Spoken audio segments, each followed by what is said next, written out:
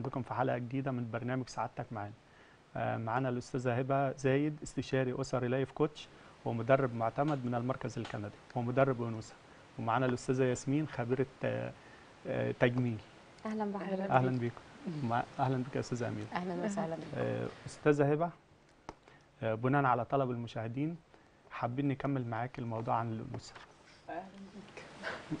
هنتكلم النهارده عن آه، مصطلح الانوثه اتكلمت عن شوية حاجات الحلقة اللي فاتت. هتكلم النهارده على التنظيف الداخلي للأنثى. إزاي إن إحنا آه، نعمل يعني نخلي الأنثى زي ما هي بتتزين من بره إزاي تتزين من جوه. آه، بما إننا معانا خبرة التجميل فطبعا أي أنثى محتاجة إنها تتجمل من بره ومن جوه.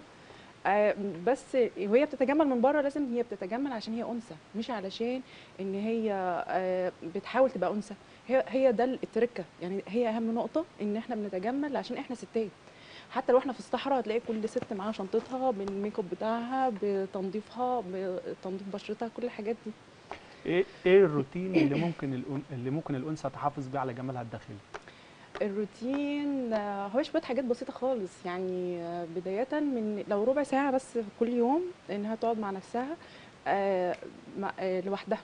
ان هي إزاي تبقى مع نفسها آه، وتعرف تظبط الحاجات ال- اللي الداخليه وهنتكلم معاها بس أنا عايزة أسمع برضو الأستاذة هتقول إيه على الخارج ياسمين؟ أهلا يا ياسمين. أهلا احكي لنا النهارده إحنا إزاي أي أنثى تبتدي تهتم ببشرتها وتهتم بنفسها من بره؟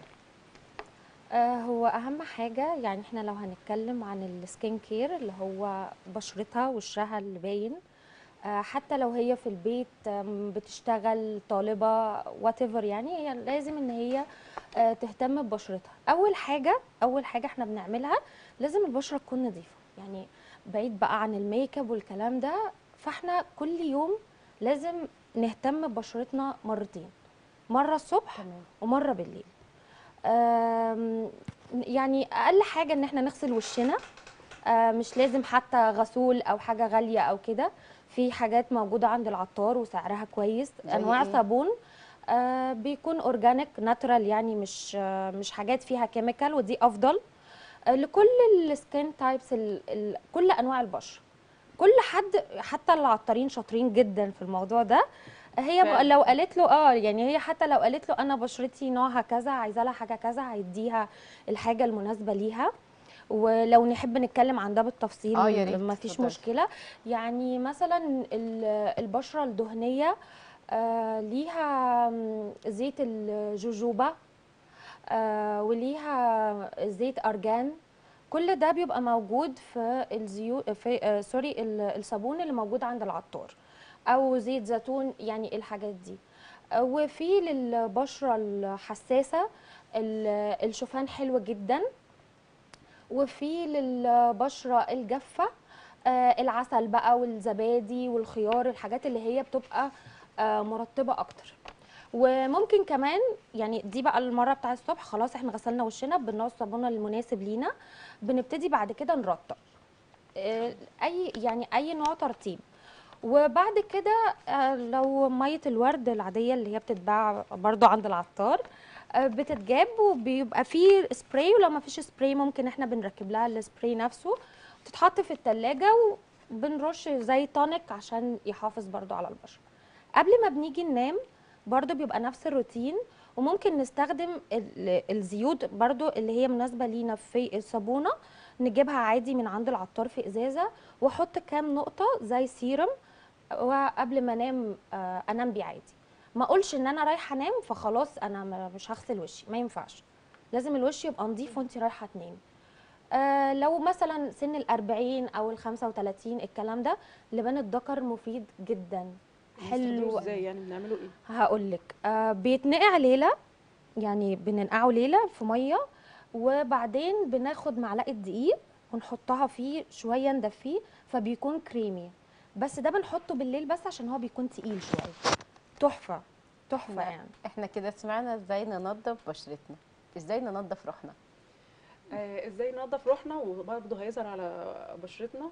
آه، بشوية حاجات بسيطة زي إيه؟ آه، زي مثلا إن أنا آه، يعني أنا إمبارح عاملة آه، تسجيل آه، على ال- إزاي إن أنا أهدي الريتم بتاع حياتي.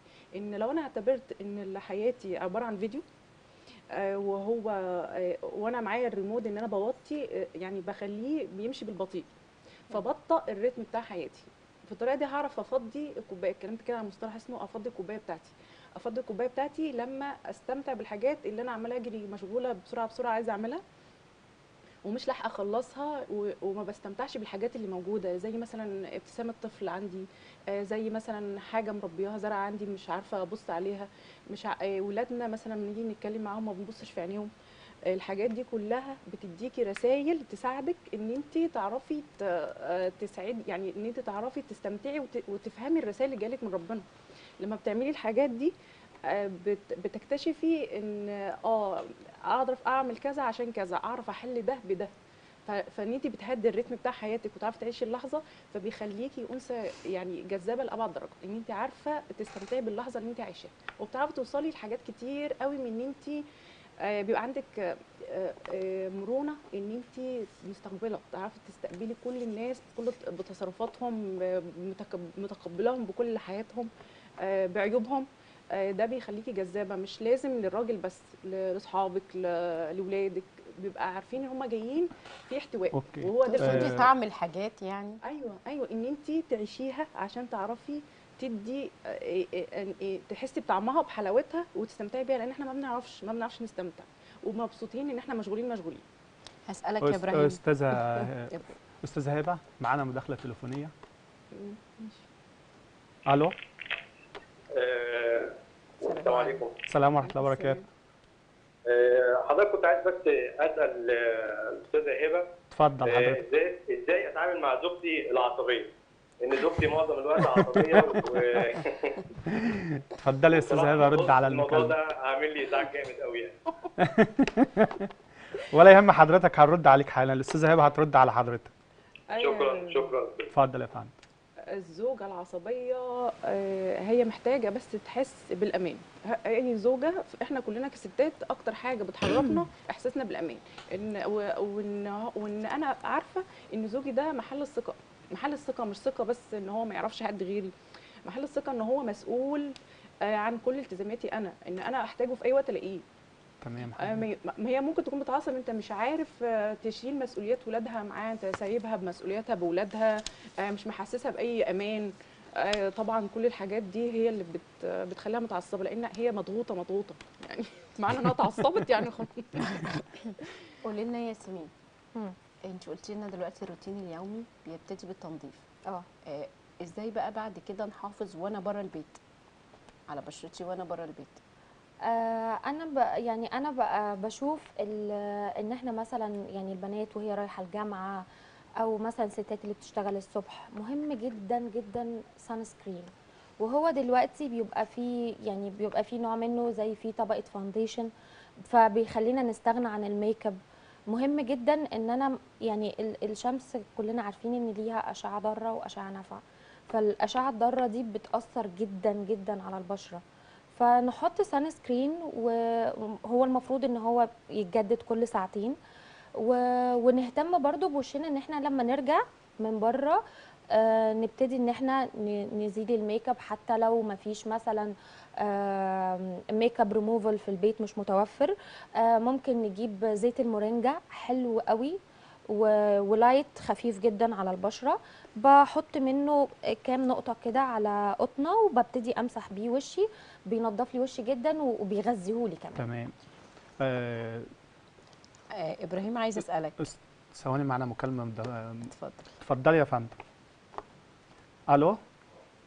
أيوه مع حضرتك. مساء الخير يا فندم. مساء الخير. كنت عايزة أسأل سؤال. اتفضلي حضرتك. عرفينا بنفسك الأول يا فندم. سلوى أحمد من القاهرة. أهلا وسهلا بحضرتك. كنا عايزين نعرف إزاي إزاي الدكتورة بتدرب إزاي الانوثه يعني إزاي تكون واحدة يعني ما عندهاش ما عندهاش أنوثة وتبقى عندها أنوثة.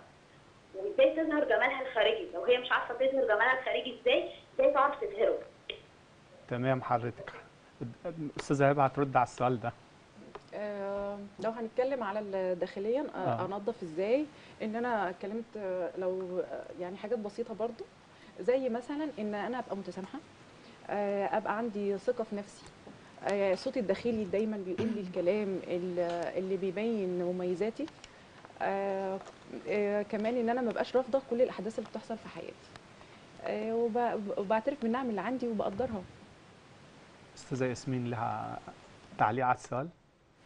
آه، أنا معاها جدا. بجد كلامها عاجبني. يعني أنا حتى مثلا لما بيجي لي بيشنت ممكن تبقى واحدة جميلة جدا. أصلا ما يعني ما عندهاش عيوب آه، أو شكلها حلو مقبولة يعني تمام. بس ما عندهاش ثقة في نفسها. فبتبقى مهزوزة جدا يعني. لكن ممكن تيجي واحدة يعني شكلها مقبول برضو عشان كل خلق الله حلوين طبعا. بس ما عندهاش آه، يعني ما عندهاش حتة إن هي مش واثقة في نفسها أو حاسة إن هي مش جميلة أو كده.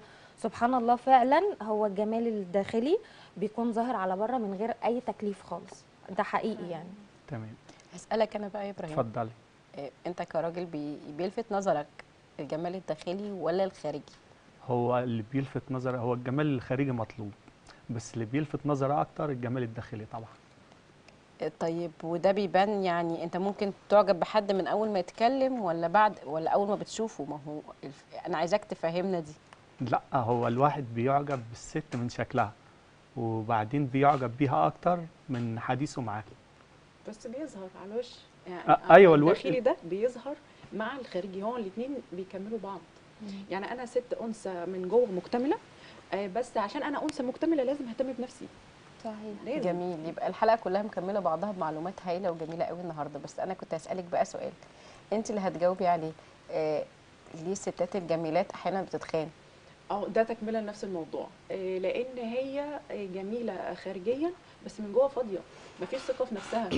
ومفتقدة حتة يعني ممكن تلاقي راجل معاه زوجة هايلة من كل المواصفات ومع ذلك يعرف ستات بره أو يتجوز عليها وتلاقي الست أقل جمالا على مستوى مقاييس الجمال اللي إحنا بنشوفها. مع إن فعلا كل الستات جميلات. بس آه، هو هو بيفتقد عندها حتة التقدير. الست اللي بتحتوي. الست اللي بتحتوي دي ونظرة التقدير دي أستاذة هبة. أو أو كتير قوي بيكون التقدير ما هوش في محله. آه، لأن ساعات الست بتقدر عشان عايزة. أنا أنا بدي عشان هاخد حالا. مش مش مش بتدي علشان هي عارفة إنها تاخد من أماكن تانية. هي بتبقى شرطة إن أنا يعني بشرط عليك يا رب أنا عايزة من ده. ولو ما خدتش من ده مش هبقى مبسوطة. ما هي بتدي اللي هي عايزة تاخده. ما هي بتديه بس ما تستنيش. هي المشكلة إن أنا بستنى. أنا استنى دي يبقى أنا مش ه... أنت كده بتشرطي على ربنا. لكن أنا بدي يا رب ومستنية عطائك أنت يا رب. جميل. جميل هايل. نرجع طبعا لخبرة التجميل بتاعتنا. قولي لي بقى أنت بعد الماسكات الطبيعية إزاي آه، ليه لازم ننظف بشرتنا تنظيف عميق كل بشرة كل شهر؟ آه ده مهم لأن يعني اولا انت لو انت بتعملي مثلا آه، روتين في البيت إن انت بتنضفي لنفسك بشرتك ده بيكون كل أسبوع. ما ينفعش مثلا تقولي إن أنا هعمل كل يوم عشان وشي يكون أحلى لأ عشان هي دورة إن الوش بينشف فبيدي للعقل إشارة فبيفرز زيوت فإحنا بنسيبه عادي. وبنعمل في البيت يعني أقصى حاجة هيبقى ال natural clay اللي هو الطمي. آه اللي هو آه آه أنا أنا بحب جدا الحاجات ال- اللي هي الطبيعية. تمام. فإن إحنا آه يعني هنستخدم ده هيكون كل أسبوع.